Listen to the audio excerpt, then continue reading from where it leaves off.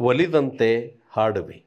ಪೂಜ್ಯ ಶ್ರೀ ಪಂಡಿತಾರಾಧ್ಯ ಶಿವಾಚಾರ್ಯ ಸ್ವಾಮಿಗಳವರು, ಪಟ್ಟಾಧ್ಯಕ್ಷರು ಶ್ರೀ ತರಳಬಾಳು ಜಗದ್ಗುರು ಶಾಖಾಮಠ, ಸಾಣೆಹಳ್ಳಿ.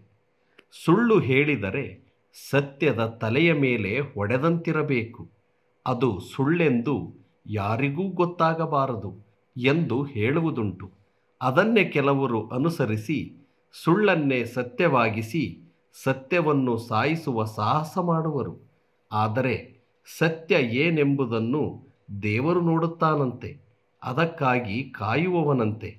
ಅಂದರೆ ಸತ್ಯ ಸತ್ಯವೇ, ಸುಳ್ಳು ಸುಳ್ಳೇ, ಸುಳ್ಳು ಎಂದೂ ಸತ್ಯವಾಗದು. ಎಲ್ಲರಿಗೂ ಶರಣು ಶರಣಾರ್ಥಿ.